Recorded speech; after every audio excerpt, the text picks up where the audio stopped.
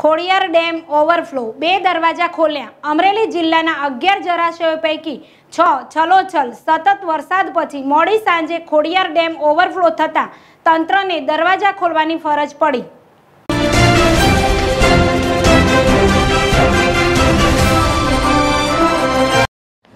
અમરેલી જિલ્લામાં છેલ્લા એક અઠવાડિયાથી સતત પડી રહેલા ભારે વરસાદના પગલે જિલ્લાના અગિયાર પૈકી છ જળાશયો પાણીથી લથબથ બન્યા છે.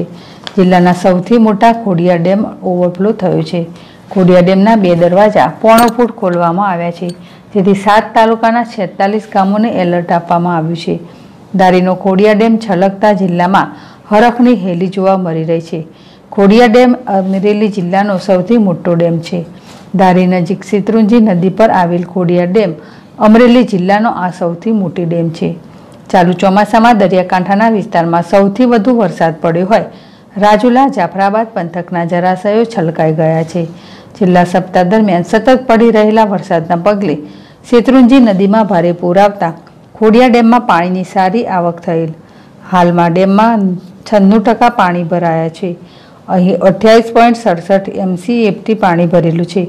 બીજી તરફ હાલમાં અમરેલી જિલ્લાના છ ડેમ ઓવરફ્લો થઈ રહ્યા છે.